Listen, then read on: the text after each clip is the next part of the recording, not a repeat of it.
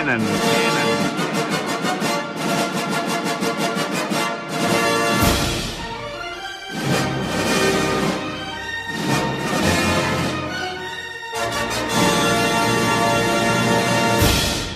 Man Barry Bondz, hustle management every day, all day. Just want to sit with you for a minute, talk to you about something that's been on my heart lately that I really want to get across to you. And uh, today's subject is about the ignorance in hip hop. Okay, there's a lot of ignorance in hip hop.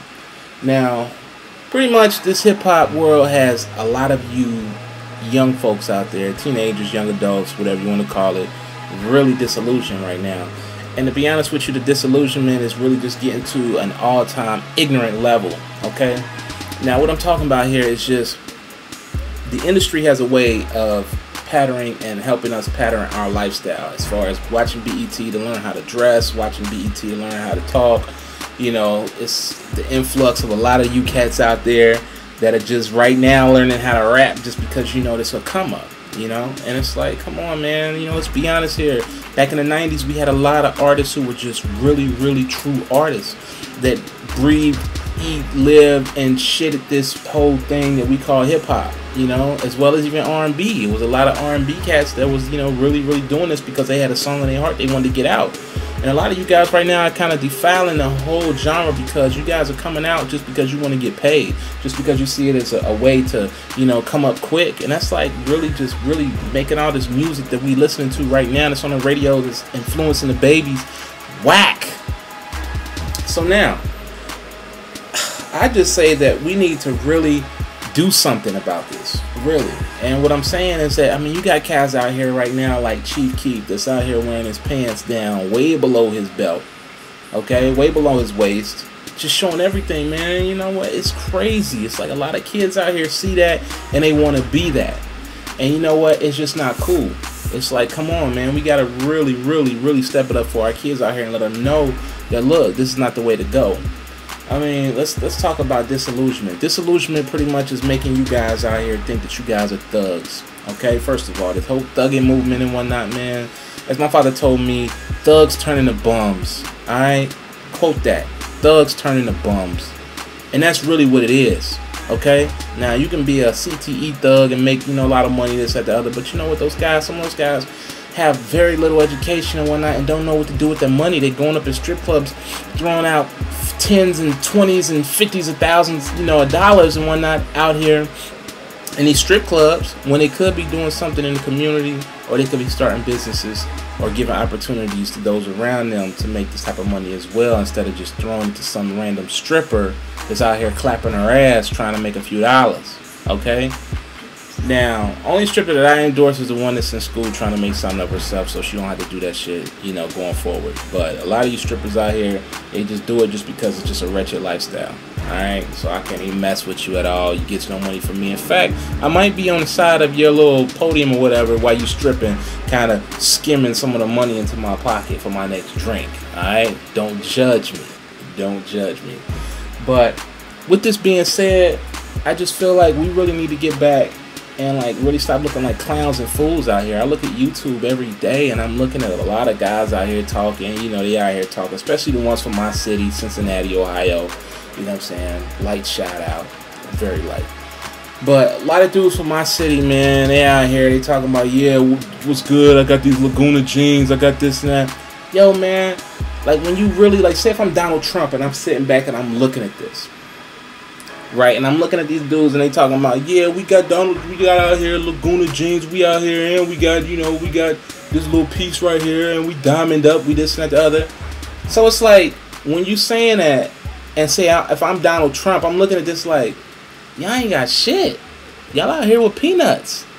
You know what I'm saying? I'm out here with millions, almost billions. You know what I'm saying? So it's like you guys really look stupid at the end of the day. At the end of the day, you guys are really looking really fucking dumb. You know what I'm saying? I really wish that some of you guys would look at this stuff and just kind of look back at yourself and say, man, what am I doing? Like, yo, I'm out here carrying all the money that I have in life in my pockets with me trying to show it. Trying to be out here. You know what I'm saying? You know the dudes that be at this corner stores and whatnot. They buy probably a mound and probably something to drink. Come up to like $2.80. These cats want to pull out a $1,000 just to count out $2.80. Like really, man, that shit is corny. It's corny, b. Like for real, man. I need to really get a grip on that. You know what I'm saying? I mean, even the text language. Look at the text language. These kids out here texting. It's like they talking. It's like they speaking or whatever. They, they really look like idiots. They don't know how to spell. You can't conduct any business with them. When they spell something to you, you can't even read the shit. The shit looks like Yiddish. Looks like I'm reading Yiddish text language or something. You know? And I'm not trying to come down on you kids like that, but I'm just trying to tell you, like, look, there's a better way. There's a better way to be cool and be about this whole rap hip hop industry without being dumb. Now, what they want you to do is they want you to be stupid so that you're not a threat to them making their money. Okay? No one wants to applaud, and we're the only race, which is really sad. We're the only race that will say something like, you know, a person that's out here, Johnny. Let's take little Johnny. Johnny's out here going to school every day. He's getting his grades. He's got A's and B's. He's going to college. You know, he's trying to, you know, get to go to college and get his, his degree, his bachelor's degree, his master's degree, maybe even a doctorate. But y'all will call him lame. Y'all will call little Johnny lame. While you got little Jethro out here who's on the block, you know what I'm saying, who don't want to do no work, thinks stupid is cool, and just want to just be out here with his shirt up and his pants hanging all the way down to his knees. But that's cool. That's thugging. That's hot. That's what's up. You know what I'm saying? Come on, man. Look at this picture, people.